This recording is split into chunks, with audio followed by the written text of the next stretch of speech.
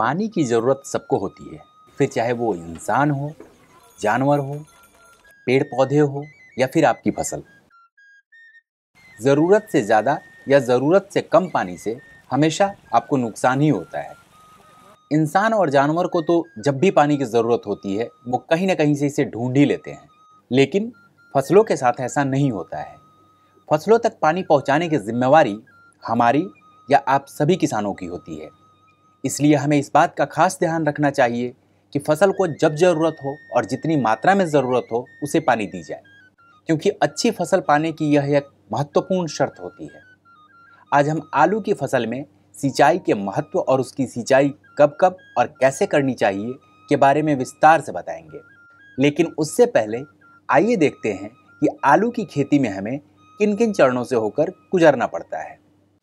बीज का चुनाव एवं उपचार खेत की तैयारी एवं आलू की रोपाई। सिंचाई प्रबंधन।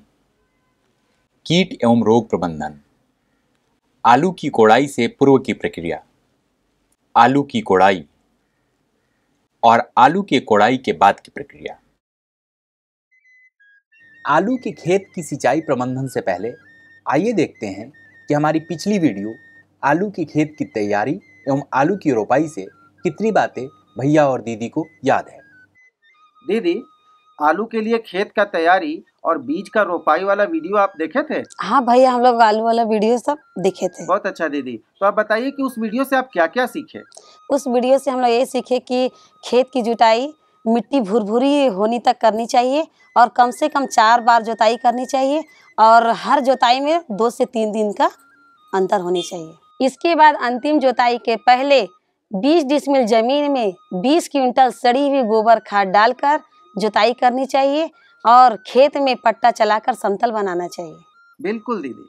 और बीज लगाने के लिए डेढ़ डेढ़ फीट की दूरी पे पाँच से सात फीट की लंबी क्यारियाँ बनानी चाहिए और आठ से आठ इंच की दूरी में उपचारित और अंकुरित बीज नालियों में लगाना चाहिए। हाँ दीदी एक बात और याद रखना चाहिए कि नालियों में बीज लगाने से पहले उसमें हमें सड़ी हुई गोबर की खाद और ट्राइकोडर्मा मिली हुई गोबर की खाद ज़रूर डालनी चाहिए। हाँ भैया ये सब तो हम लोग करते ही हैं। आलू की फ़सल में सिंचाई एक महत्वपूर्ण प्रक्रिया है। सही समय पर और उचित मात्रा में पानी दिए जाने से न केवल आपकी फ़सल में काफ़ी अच्छी वृद्धि होती है बल्कि वह आपको उपज भी ज़्यादा देती है। एक और कम सिंचाई से जहाँ आलू की उपज कम हो सकती है वहीं दूसरी ओर ज़रूरत से अधिक सिंचाई से नुकसान भी होता है।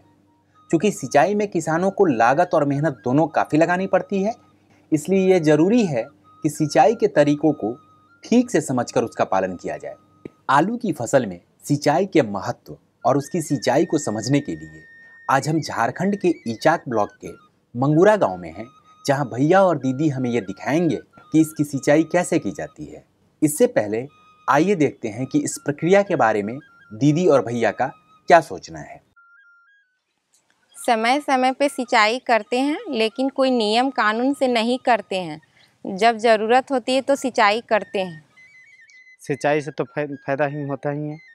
सिंचाई नहीं करने से फ़सल बर्बाद हो जाएगी। जिसमें पानी की ज़रूरत पड़ती है उसमें पानी डालते हैं।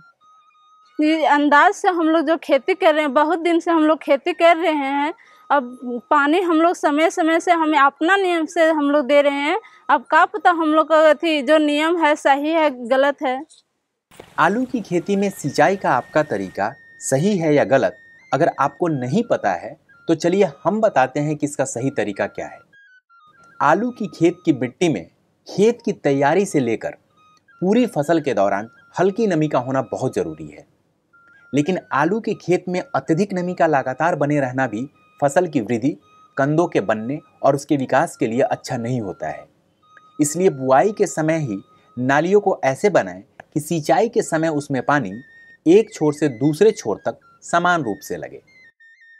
नालियों की लंबाई सिंचाई के साधन के अनुसार बड़ी या छोटी रखना चाहिए। लेकिन हर स्थिति में नालियों का समतल होना सही और अच्छी सिंचाई को सुनिश्चित करेगा। सिंचाई करते समय हमें यह ध्यान देना चाहिए कि नालियों में पानी उसके ऊंचाई के दो तिहाई भाग तक हो।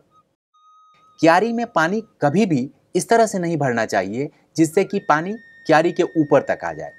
अगर पानी ऊपर तक आ गया हो तो उसे खेत से निकाल देना चाहिए, क्योंकि ज़्यादा पानी से फ़सल को नुकसान होता है।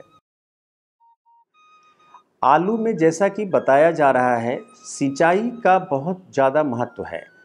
हल्की सिंचाई करना अति आवश्यक है। कई बार ऐसा होता है कि किसान के पास जो सिंचाई का साधन है, वो ऐसा होता है कि दो हॉर्स पावर का मोटर है या उससे ज़्यादा हॉर्स पावर का मोटर है तो उससे पानी बहुत तेज़ी की गति से निकलता है और नालियों में एकदम से भर जाता है।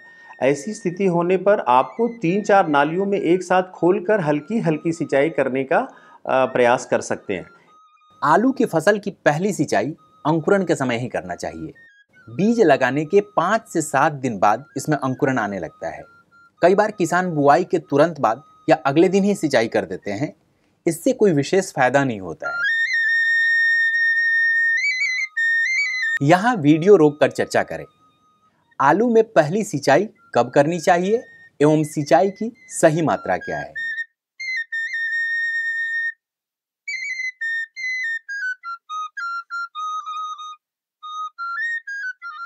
आलू की फ़सल में सिंचाई को सही तरीके से और सही समय से करने की सबसे ज़्यादा ज़रूरत तब होती है जब आलू में कंद बनना शुरू होते हैं। इस अवस्था में फ़सल को बहुत हल्की लेकिन बार बार सिंचाई करनी चाहिए। ऐसा करने से छोटे छोटे कंदों की संख्या कम होती है और ज़्यादातर आलू सामान आकार के बनते हैं। यह अवस्था बुआई के करीब 40 से 50 दिनों पर आती है, लेकिन किसान से अपने खेत में एक दो पौधों की जड़ों को मेड़ की बगल से मिट्टी हटाकर भी देख सकते हैं। आलू के कंदों का बनना जड़ों से लगे हुए बहुत छोटे छोटे सरसों के दाने जैसे सफ़ेद कंदों के रूप में देखा जा सकता है। इस अवस्था में नालियों में पानी सिर्फ़ आधा ही भरे और ज़रूरत के अनुसार पाँच से सात दिन बाद फिर सिंचाई करें। कंदों की बनने की ये प्रक्रिया लगभग एक माह तक चलती है, यानी करीब चार हफ़्ते तक फ़सल को हल्की लेकिन नियमित और जल्दी जल्दी सिंचाई करनी चाहिए। इस बात को किसानों को अच्छी तरह समझना चाहिए कि इस अवस्था में सिंचाई में किसी तरह की ढिलाई या गलती नहीं करनी चाहिए, क्योंकि इसका प्रभाव सीधा उपज और उसकी गुणवत्ता पर पड़ता है। आलू की फ़सल में मिट्टी चढ़ाने के बाद सिंचाई करना ज़रूरी होता है, इसलिए जब भी मिट्टी चढ़ाए, उसके दो तीन दिन बाद हल्की सिंचाई ज़रूर कर दें। मिट्टी चढ़ाने के तुरंत बाद सिंचाई करने की बजाय जड़ों को तीन चार दिनों तक हवा लगने दें और मिट्टी को थोड़ा सूखने दें, फिर सिंचाई करें। फ़सल की बाकी सिंचाई मिट्टी के प्रकार और खेत की नमी के अनुसार 10-12 दिन के अंतराल पर हल्का पानी लगाकर करते रहें। अगर बीच में बारिश हो गई हो तो सिंचाई सिर्फ़ ज़रूरत के अनुसार ही करें। किसानों को सिंचाई अपने विवेक का प्रयोग करते हुए और अपने खेत की मिट्टी के नमी और फ़सल की ज़रूरत को ध्यान में रखते हुए करना चाहिए। यहाँ वीडियो रोककर चर्चा करें। आलू लगाने के 40 से 50 दिन के बाद की अवस्था में सिंचाई में हमें किन किन बातों का ध्यान रखना पड़ता है और इससे हमें क्या फ़ायदा होता है?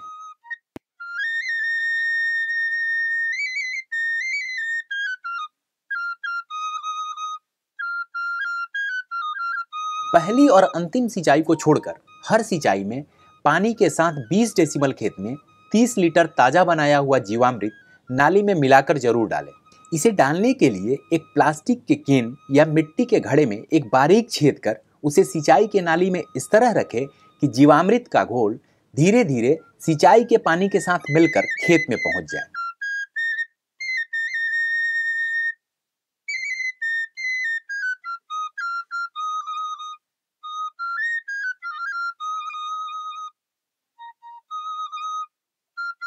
आलू की फ़सल में अंतिम सिंचाई फ़सल उखाड़ने से 10 से 15 दिन पहले के करीब बंद कर देनी चाहिए। यह अवस्था आमतौर पर जो आलू की वैरायटी लगाई जाती है, उसमें 100 से 110 दिन के आसपास आ जाती है।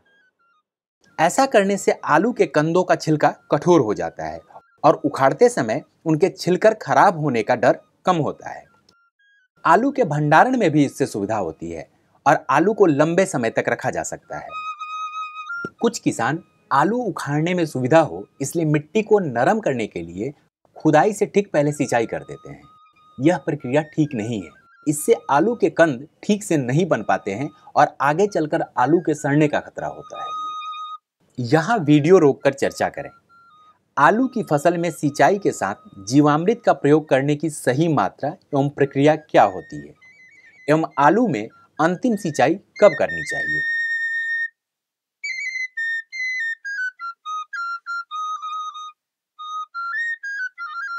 एक और ज़रूरी बात। जिन किसानों ने अपने खेत की तैयारी के समय हाइड्रोजल का प्रयोग किया है, उन्हें साधारणतः कम सिंचाई की ज़रूरत होगी।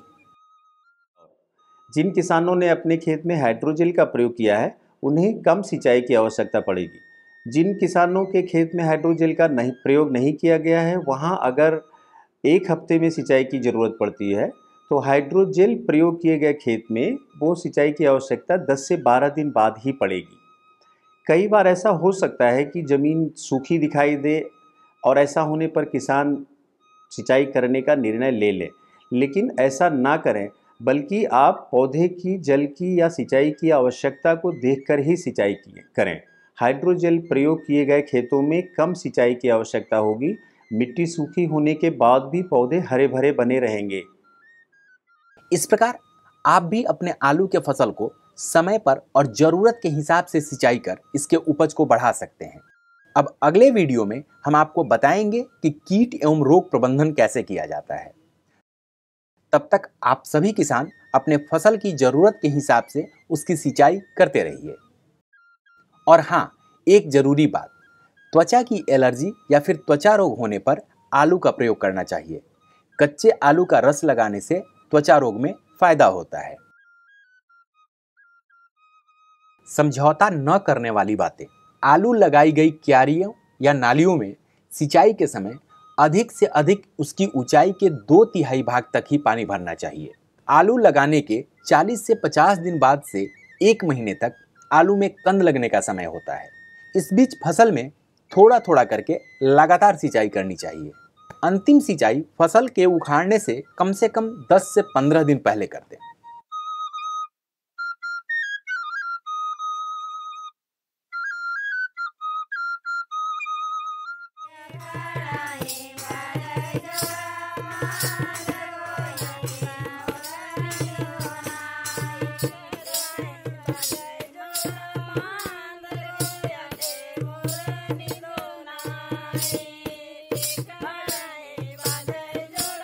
episode.